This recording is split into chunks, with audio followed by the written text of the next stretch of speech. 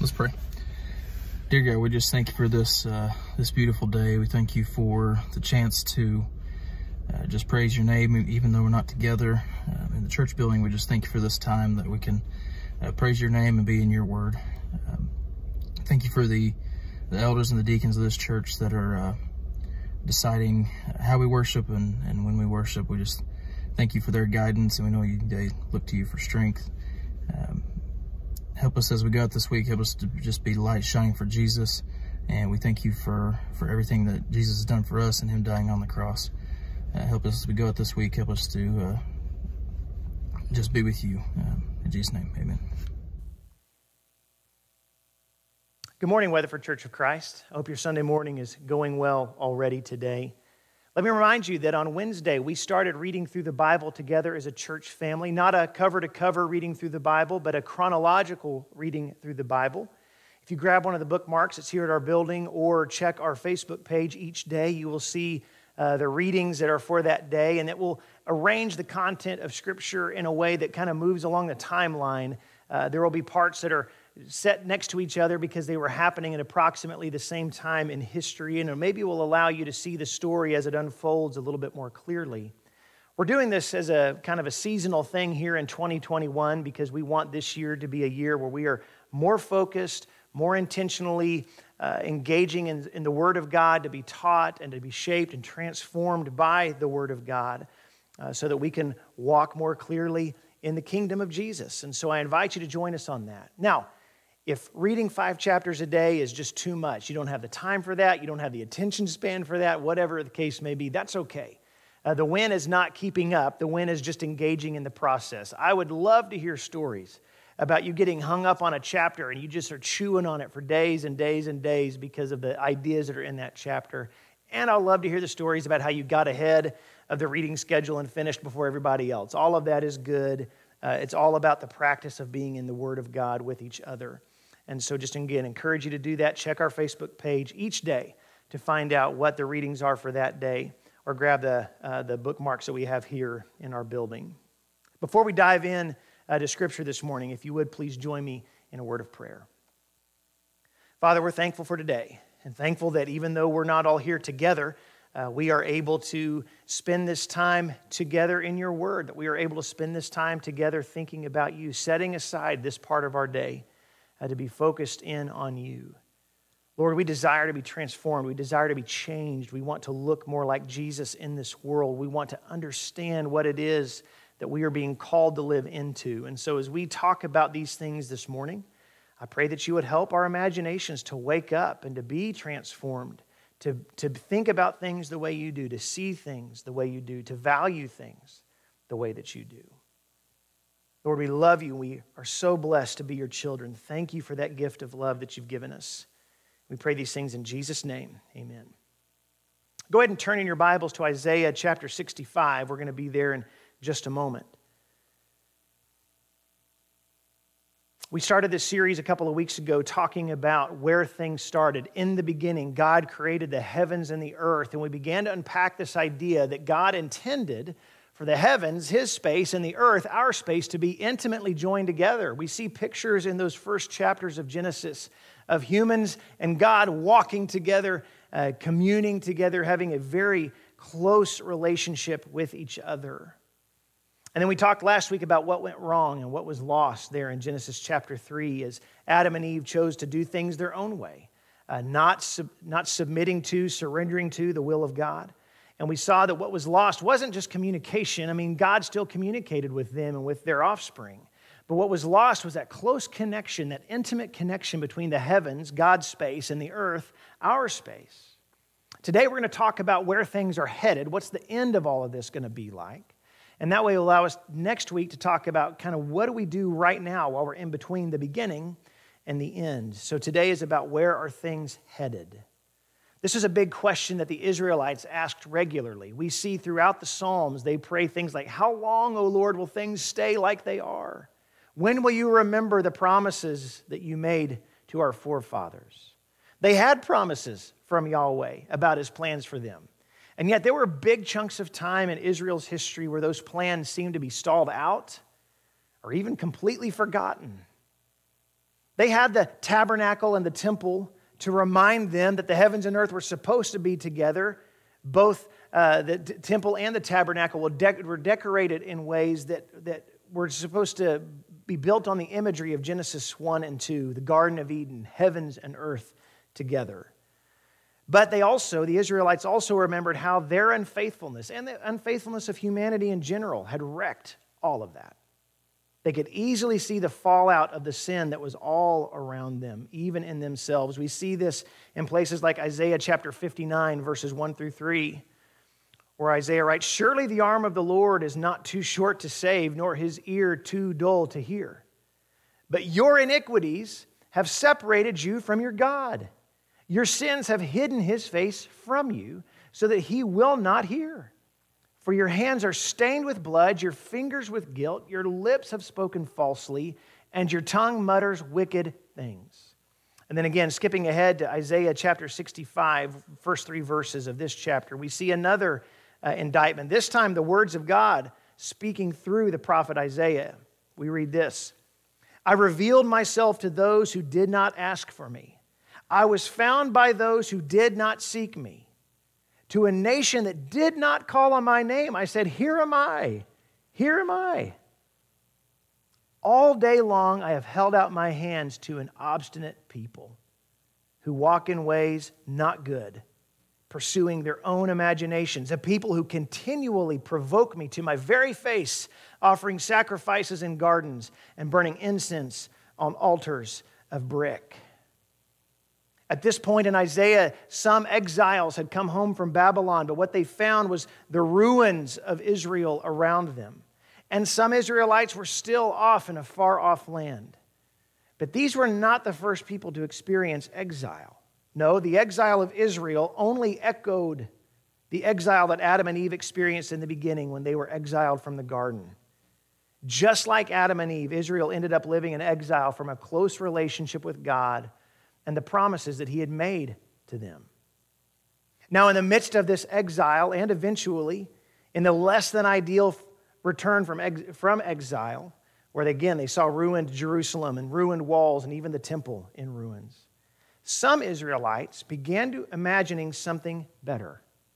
And their imagination went wild. They were imagining a full scale renewal and restoration of what were the defining characteristics of God's very good creation in Genesis 1 and 2. These prophets, inspired by God, began imagining the things that the tabernacle and the temple had pointed to God's space, the heavens, and our space, the earth, not just loosely connected through these holy hotspots, but the heavens and earth together, intimately joined again as they were in the beginning. Now, let's read together in Isaiah chapter 65, beginning in verse 17. Again, the words of God spoken through Isaiah. God tells us, See, I will create new heavens and a new earth. The former things will not be remembered, nor will they come to mind. But be glad and rejoice forever in what I will create. For I will create Jerusalem to be a delight and its people a joy. I will rejoice over Jerusalem and take delight in my people. The sound of weeping and of crying will be heard in it no more. Never again will there be in it an infant who lives but a few days, or an old man who does not live out his years. The one who dies at a hundred will be thought a mere child. The one who fails to reach a hundred will be considered accursed. They will build houses and dwell in them. They will plant vineyards and eat their fruit. No longer will they build houses and others live in them or plant and others eat. For as, the, for as the days of a tree, so will be the days of my people. My chosen ones will long enjoy the work of their hands. They will not labor in vain, nor will they bear children doomed to misfortune. For they will be a people blessed by the Lord, they and their descendants with them. Before they call, I will answer. And while they are still speaking, I will hear. The wolf and the lamb will feed together, and the lion will eat straw like the ox, and dust will be the serpent's food. They will neither harm nor destroy on all my holy mountain. Isaiah, given this vision by God, begins to imagine the new heavens and a new earth. The former things will not be remembered anymore. The ways of life they were experiencing right then, they will not be remembered anymore. Jerusalem and its people will be a delight. He says, The sound of weeping and of crying will be heard in Jerusalem no more. There will be provision for everyone, long life and good health, dwelling spaces, plenty of food, productive labor.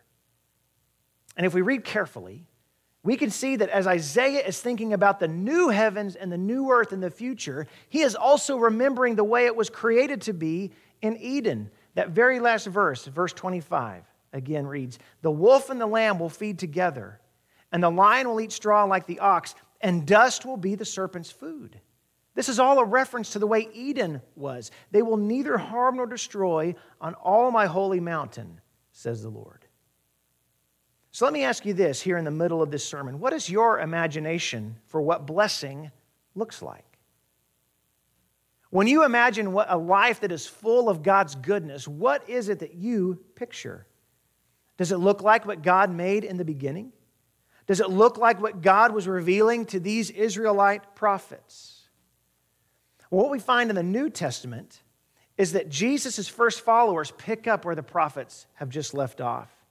And now, with Jesus in their heart and mind, as they've lived life with Him, as they are meditating on His actions and His words, they also envision what Jesus was pointing to in His life. Remember, Jesus says, The kingdom of heaven has come near. Repent and believe the good news. And His first followers took Him seriously. They believed that in Him, the heavens and the earth were no longer held apart, but that intimate relationship was beginning again. This new creation was coming about in the person of Jesus. And so, if you turn to Revelation chapter 21, the very last chapter or two of the entire Bible, we see what one of these first followers of Jesus was given by God to, as a picture of what is coming.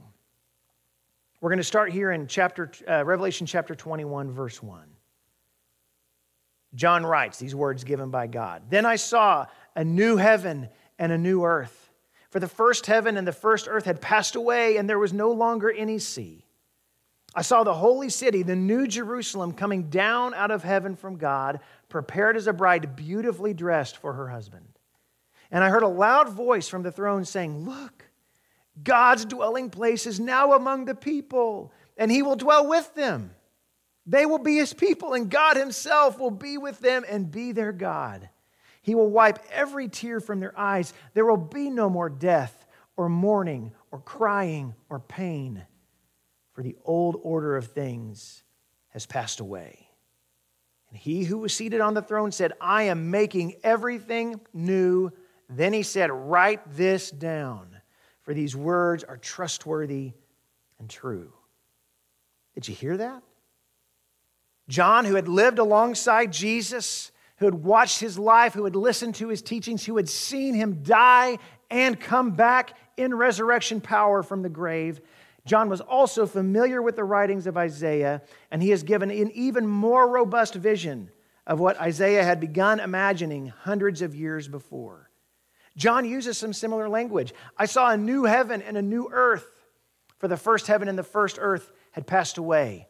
God's dwelling place is now among the people, and he will dwell with them. They will be his people, and God himself will be with them and be their God. Again, images of what the tabernacle and the temple were pointing to. And interestingly, lots of things were missing from new creation, but it was all the bad stuff, it was all the old order of things. He will wipe every tear from their eyes. There will be no more death or mourning or crying or pain. For the old order of things has passed away. But the vision continues. Look down in verse 22 of chapter 21. John continues I did not see a temple in the city because the Lord God Almighty and the Lamb are its temple. The city does not need the sun or the moon to shine on it, for the glory of God gives it light, and the Lamb is its lamp. The nations will walk by its light, and the kings of the earth will bring their splendor into it. On no day will its gates ever be shut, for there will be no night there. The glory and honor of the nations will be brought into it. Nothing impure will ever enter it, nor will anyone who does what is shameful or deceitful. but only those whose names are written in the Lamb's book of life. Then the angel showed me the river of the water of life, as clear as crystal, flowing from the throne of God and of the Lamb down the middle of the great street of the city. On each side of the river stood the tree of life, bearing 12 crops of fruit, yielding its fruit every month. And the leaves of the tree are for the healing of the nations. No longer will there be any curse. The throne of God and of the Lamb will be in the city, and his servants will serve him. They will see his face, and his name will be on their foreheads. There will be no more night.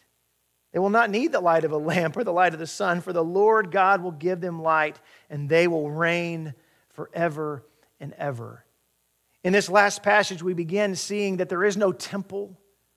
There isn't a need for a holy hot spot because God is now dwelling among the people. They are in the middle of what the Old Testament people knew as the Holy of Holies.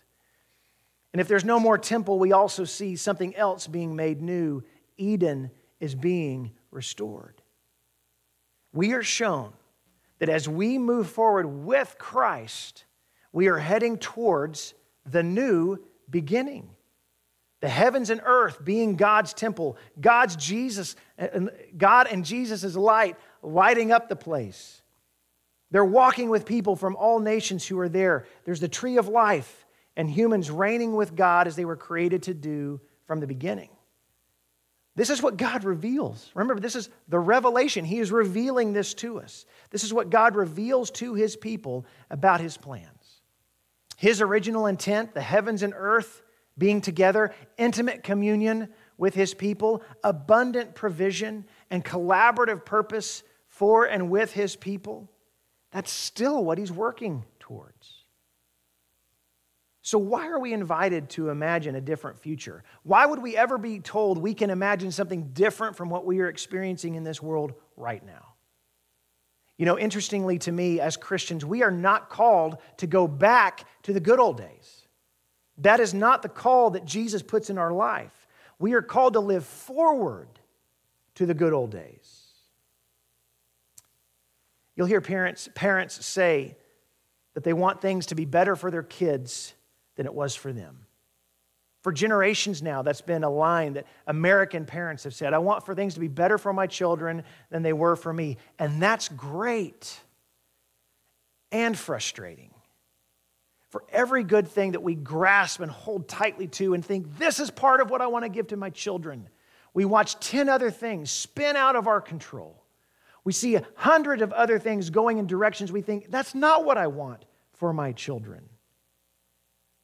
We have to admit that we can't reconstruct this past, this glorified past, and put it together and hand it to our children. And Jesus doesn't ask us to.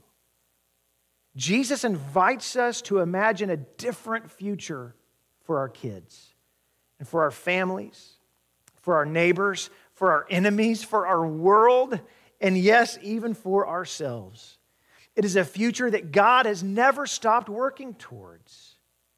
It's what he started in Eden, yes, and it is what he will complete in the renewed and restored heavens and earth together, what John was writing about in Revelation 21 and 22. So let me ask the question I asked you earlier again. When you imagine a blessed life, what do you imagine? When you imagine a life full of the goodness of God, what do you imagine? If you're like me, there are times that my imagination needs transformation. Just this week, as thinking about and thinking about this sermon, an idea hit me that I, I just was frankly uncomfortable with. I have to deal with the idea that maybe my dreams of a blessed life are more influenced by television commercials than they are by scripture and prayer. When somebody were to, if somebody were to ask me, Aaron, what is your picture of the good life? What is your picture of a blessed life full of the goodness of God? Oftentimes, it's the stories I'm told by television commercials that enter my mind first. And I have to re, I think really hard about what is it that God might imagine for me. Does your imagination look like what God made in the beginning? Do you imagine the good life being what God revealed to these Israelite prophets? Do you imagine the good life, the blessed life, the full of God life being what God revealed to John in the life and death and resurrection of Jesus? Can you even imagine a place where there are no more tears, no more death, or mourning, or crying, or pain? You know, we often talk about what we're saved from saved from sin, saved from mistakes, saved from darkness, saved from death, yes. But this is what we are saved for a life free of those things and full of the goodness and love and glory of God. Not my glory, His glory. Remember the old order of things. This stuff we're living in now, that stuff is what passes away. And the things that God intended in the beginning and is still working towards now, those are the things that we are going to experience in eternity with Him. So, how do we respond to this today? Well, honestly, this is why we're reading through the Bible over this next few months. Because it's in Scripture that our imaginations find something to hold on to and say, yes, I want to move in that direction. It's in reading the Scriptures and letting those pictures and images fill our minds where we get less and less influenced by the TV commercials and more and more influenced by what God is wanting to do in you and in me and all around us. We can pray for a renewed mind. Romans 12, verse 2 says, Do not conform to the pattern of this world, but be transformed by the renewing of your mind. Then you will be able to test and approve what God's will is his good, pleasing, and perfect will. Not just his good, pleasing, and perfect will for your life, but his good, pleasing, and perfect will for the entire world. This is what can begin to fire our imaginations for what God is doing. As we watch Jesus, we can begin to imagine through his mind, through his eyes, through his ears. Remember, he is the one who could see things that were possible where others could only see the impossible. This is why his enemies ask questions like, Why does your teacher eat with sinners? It's because Jesus didn't see them just as sinners. He saw them as people who had missed out on the good things of God and he saw new things possible for them. It's why he says, Whatever you did for one of the least of these brothers and sisters of mine, you did for me. He's challenging us and encouraging us to have an imagination that sees him in the people around us. It's why Jesus can seriously tell us that it's blessed to be poor in spirit, blessed to be mournful, blessed to be meek, Blessed to be merciful and pure in heart. Blessed to be peacemakers. And yes, even blessed to be persecuted. Takes some imagination to see that. We need to spend time in the Word and in prayer with Christ to have our imaginations transformed to be like His. It's also why every week we do what we're about to do together to sit around the Lord's table, to eat the cracker to drink the juice that remind us of his body and his blood, his life and his sacrifice. This is a great time for imagination transformation.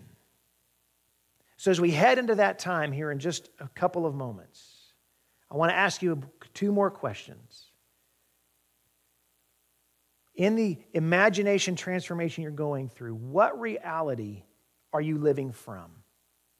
is it the reality that God started in the beginning, that as we read Genesis 1 and 2 and we see what God intended, we can understand better the way God desires things to work. And what reality are you living towards? Because when we read Revelation 21 and 22, we can see where this thing is going. Does my life right now look like a life that is informed by the reality that God wants me to live from and the reality that God wants me to live towards? What about your life? What reality are you living from? What reality are you living towards?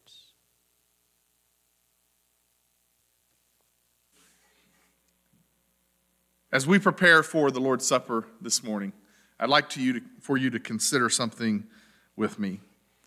Uh, Jesus' last act with all of his disciples there before he was ultimately beaten, arrested, beaten, crucified, uh, was to sit around a table with them and share a meal. We know this as the Last Supper recorded in the first three Gospels. We remember this each Sunday as we take communion or the Lord's Supper together. And one of the great focuses of this time on a regular basis is just the togetherness of it all. We have the opportunity as God's family, as brothers and sisters, to gather around a figurative table and break bread and drink juice together to remember his body and his blood.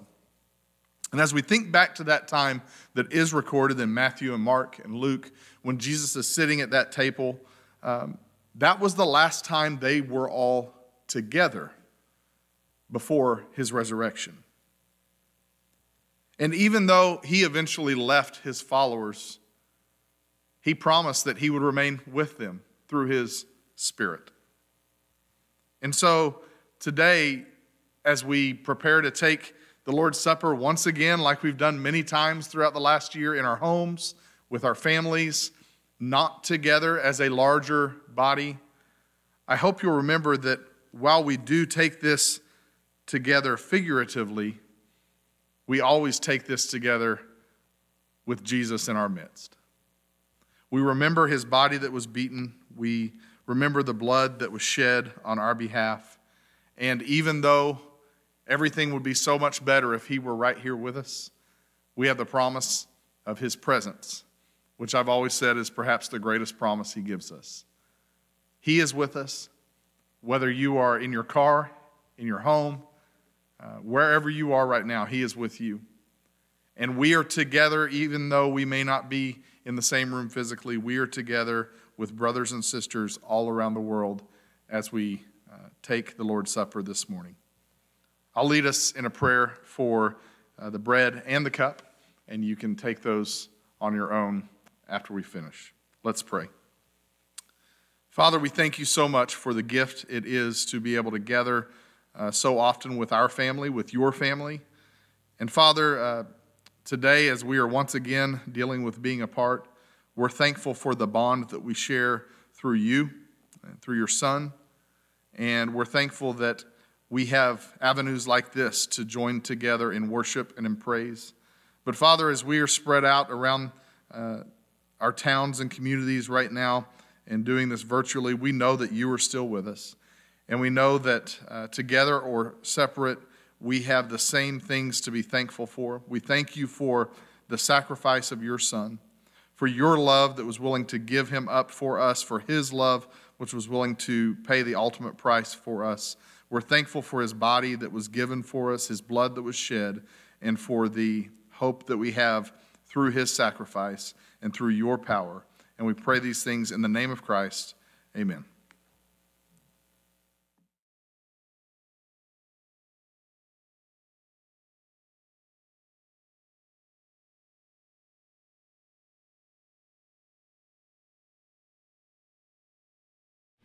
Hey, church family. Please bow with me for the closing prayer. Dear Heavenly Father, I just want to thank you for this day. I want to thank you for all the blessings that you've given us. As we go throughout this Valentine's Day, help us to be mindful of the love that you've shared. And may we rejoice in that love, dear Lord. As we continue on throughout this week, wherever we may be, dear Lord, let us share the love that you've shared with us with others. May we be a light for you, dear Lord. Please continue to be with those who are sick and are hurting. Guide and direct us each and every day. May we always follow you, dear Lord. And it's in your Son's holy name we pray. Amen.